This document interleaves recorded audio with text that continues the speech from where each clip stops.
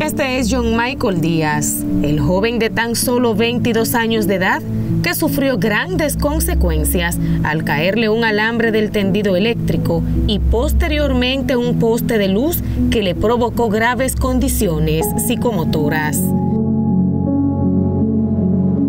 Las llagas en su cuerpo son el resultado de permanecer en cama por dos años. Su situación es difícil, pero John no pierde la fe mientras su familia lucha junto a él en esta residencia ubicada en la calle Libertad del sector El Tanque en La Vega.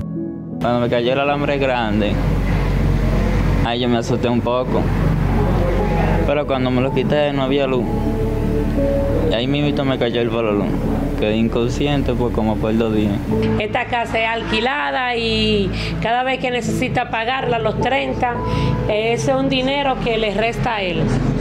¿Me entiendes? Entonces, por lo menos yo como hermana, a mí me preocupa eso porque alguna vez ella está pensando dónde lo va a conseguir. Sus padecimientos de salud requieren de cuidados especiales con los que hay que incurrir en gastos económicos, dinero del que su familia no dispone. Yo me sentaba ahí a pensar eh, qué darle a ellos. Tranquila, tranquila. Pero gracias a Dios siempre mandaba a alguien y me decía, toma esperanza.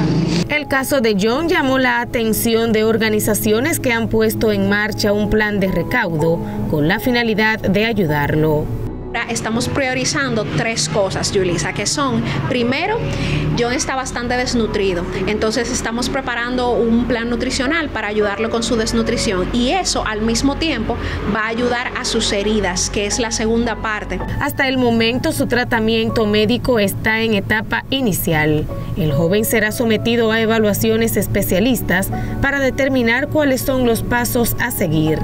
El tiempo en cama lo han consumido hasta llevarlo a presentar una desnutrición crónica, por lo que los médicos que hasta el momento lo han evaluado han recomendado recomponerlo para en su momento someterlo a los procedimientos clínicos del lugar con la esperanza de que algún día pueda levantarse.